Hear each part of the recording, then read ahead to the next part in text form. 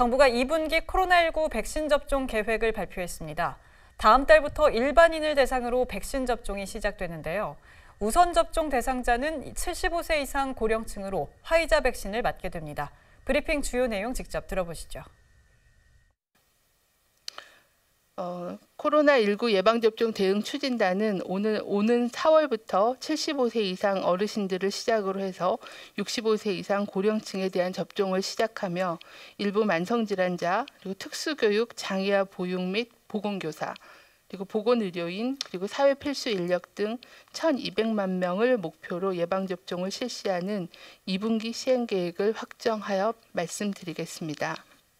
시행 계획은 대상군을 총 6개 군으로 분류하여 대상 집단과 백신의 특성, 도입 시기와 물량 등을 고려해서 대상자별로 백신 종류와 접종 시기 방법을 정하여서 시행할 계획입니다. 먼저 요양병원 및 시설입니다. 지난 2, 3월 시행계획에서 보류되었던 요양병원 시설의 65세 이상 입원 입소자, 종사자 약 38만 명에 대해서는 3월 4주부터 접종을 시작할 계획입니다. 앞서 예방접종 전문위원회는 영국 스코틀랜드의 접종 결과를 근거로 65세 이상에 대한 아스트라제네카의 사용을 권고한 바 있습니다. 이에 따라 요양병원 시설에 65세 이상 입원, 입소, 종사자에 대해서는 아스트라제네카 백신을 사용하여 접종할 계획입니다. 두 번째 대상은 감염 취약시설의 고위험군입니다.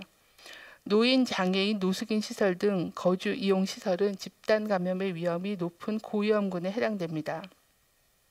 또한 감염에 취약한 노인, 장애인 대상 돌봄 서비스를 제공하는 종사자들은 고위험군을 보호하기 위해 우선 접종 대상으로 분류하였습니다.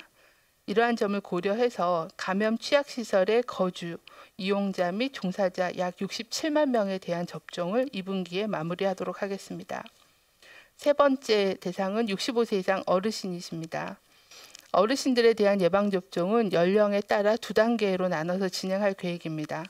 먼저 4월 1주부터는 75세 이상 어르신 약 364만 명을 대상으로 하여 코로나19 예방접종을 시작합니다.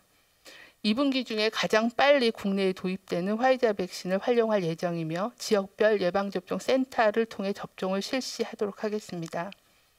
75세 이상 어르신들은 온라인 예약도 어렵고 또 거동이 불편하신 분들이 많은 점을 고려해서 읍면동 등 지역 단위에서 등록, 이동, 접종, 귀가, 접종 후 모니터링까지 책임지는 지원 체계를 구축하여 안전한 예방접종을 지원할 계획입니다.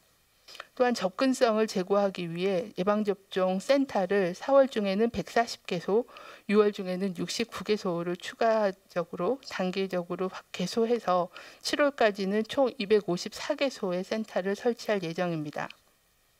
65세부터 74세까지의 어르신은 약 494만 명입니다.